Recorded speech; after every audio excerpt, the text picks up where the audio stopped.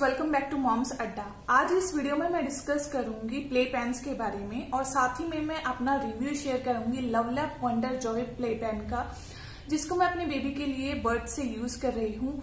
इसमें बहुत सारे फीचर्स हैं जो इस प्ले पेन को बेस्ट प्ले पेन बनाते हैं according to me play pen बहुत ज़रूरी है बेबीज के लिए जब बेबी मूव करना स्टार्ट कर देता है। बेबी की आदत क्या होती है कि कहीं भी उसको कुछ सामान मिला, वो उठाकर जल्दी से अपने मुँह में दे लिया जो बहुत ही डेंजरस होता है मतलब कहीं भी हमें दो मिनट के लिए भी कहीं किचन में जाना है बाथरूम जाना है तो बेबी को एक सेफ़ प्लेस चाहिए जहाँ पर हम बेबी को छोड़ सकें।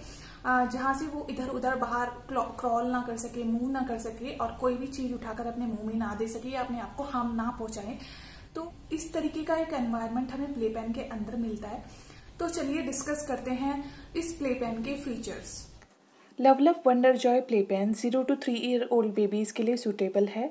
It is certified as per E N A standards इसके अंदर हमें मिल जाती है three in one utility means इसको रॉकर नैपर और प्ले यार्ड में कन्वर्ट कर सकते हैं, जैसे जैसे बेबी बड़ा होता है। तो सबसे पहले देख लेते हैं रॉकर में कैसे कन्वर्ट किया जाता है। नीचे ये फोल्ड्स दिए गए हैं, इनको ओपन कीजिएगा और ये रॉकर में कन्वर्ट हो जाएगा। रॉकर न्यूबॉर्न बेबी के नैप टाइम के लिए बहुत ही कन्वीनियंट होता है। अब देखते हैं कि इस प्ले पैन को नैपर में कैसे चेंज करते हैं। इसमें एक डिटैचेबल और एलिवेटेड फुल साइज़ जिपर दी गई होती है, जिसको हम कुछ इस तरीके से इसमें अटैच करते हैं, जिप की हेल्प से। इसको हम अटैच भी कर सकते हैं, डिटैच भी कर सकते हैं, अकॉर्डिंग टू आर कन्वीनियंट। ये न्यूबॉर्न बेबी से लेकर वन ईयर तक के बेबी के लिए सूटेबल है। नैप टाइम के लिए इसमें फिर ये आयरन से बनी हुई स्टिक्स लगाते हैं और फिर उसमें कुशन लगा देते हैं तो ये बेबी के नैप टाइम के लिए रेडी हो जाता है। नैपर इसके बाद हम देख लेते हैं कि इसको प्ले यार्ड में कैसे कन्वर्ट करते हैं। जैसे जैसे बेबी बड़ा हो जाता है, वो क्रॉल करना स्टार्ट कर देता है ट्रॉडलर हो जाता है तो फिर उसके लिए ये प्ले यार्ड बेस्ट है।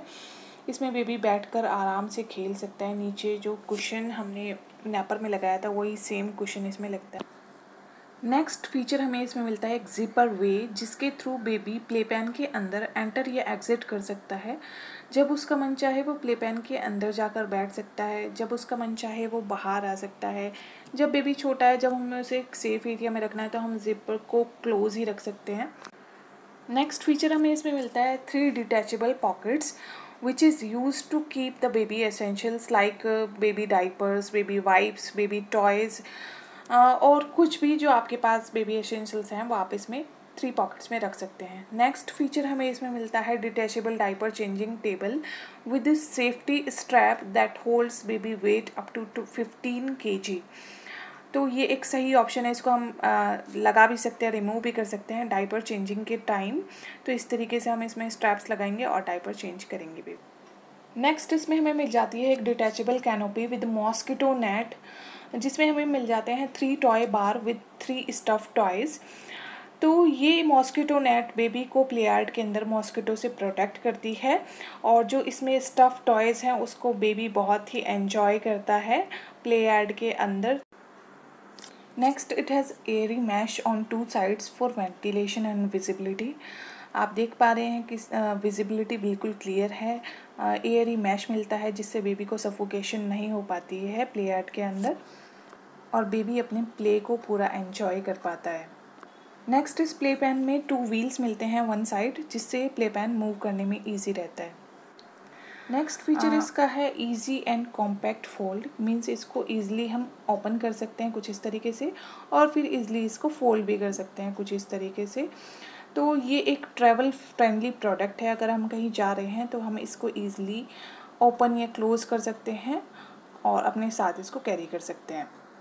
LuvLap wonder joy play pen आपको अमेजोन डॉट कॉम और लवलैप डॉट कॉम दोनों पर अवेलेबल है, जिसको परचेज करने के लिंक्स मैंने डिस्क्रिप्शन बॉक्स में दे दिया। आई होप गाइज़ आपको ये वीडियो पसंद आया होगा। पसंद आए तो लाइक कीजिए और अगर आप मेरे चैनल पर नए हैं तो चैनल को सब्सक्राइब कीजिए। Thank you